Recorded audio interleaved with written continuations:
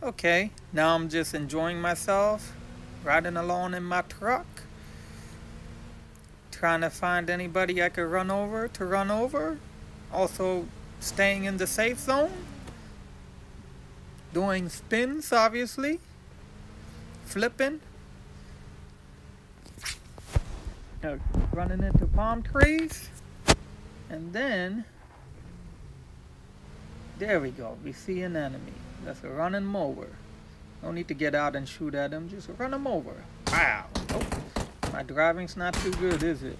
I'm getting shot up, but luckily we're in an enclosed truck. So I'm able to take the shooting and he's just standing in front of me. I don't know why. Is it a bot? And I run him over. Boom. Out of there. That's a beautiful thing. When you run them over with a car or truck, they're done.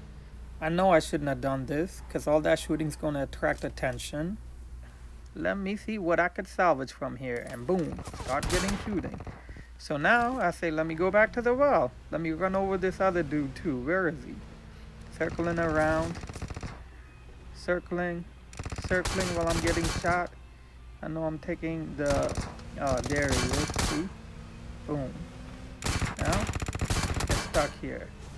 Do I jump out? No even though the truck's been getting shot up. Now it's smoking. I know better. I should get out of here. But I said, no, I could run him over. And I did. But at the same time, I died. And this is why you got to jump out of the car or the truck when it starts smoking. Because you will die in there. You will die. Case and point. Peace out.